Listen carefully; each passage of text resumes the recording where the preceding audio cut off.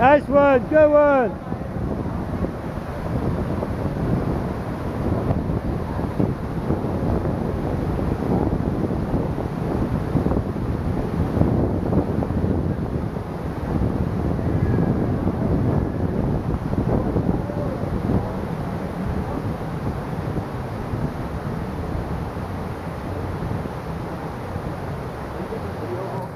Yes. It'll be on, it'll be on uh, uh, YouTube. Just look under uh, Simon Pearce. Okay?